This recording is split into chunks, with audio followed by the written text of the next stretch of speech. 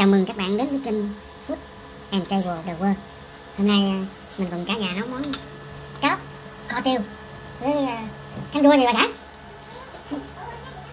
canh chua, cá rô phi.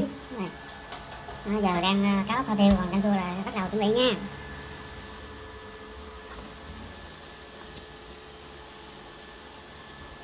Này, coi nồi cá lóc kho tiêu kìa Nói chung là cái món này chắc ngự Nhìn thấy đau bụng luôn Này, cá lóc kho tiêu mà kho trên nồi đất vậy ha. Thêm ớt nha. Mình thấy mắt thèm. Nha nhở?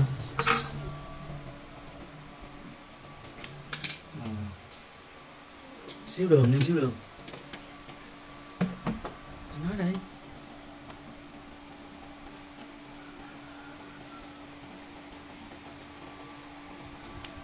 Trứng dừa nha Trời kho phải đầu nấc xích quay mới được nha. Không xích quay là không ngon đâu. Tiêu hả? Vậy tiêu xíu tiêu. Trời. Quá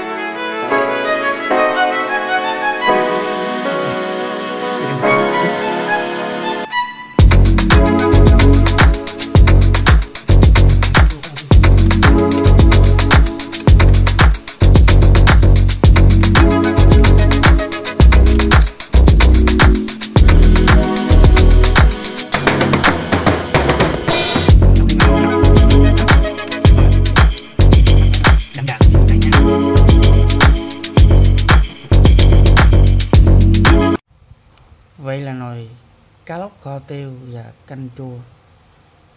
Cá rô phi đã chín rồi. Chúng ta chuẩn bị ăn thôi. Cảm ơn các bạn đã theo dõi video. Hãy nhấn nút like, chia sẻ và đăng ký kênh. Hẹn gặp lại các bạn vào video tiếp theo. Xin chào tạm biệt các bạn. Goodbye.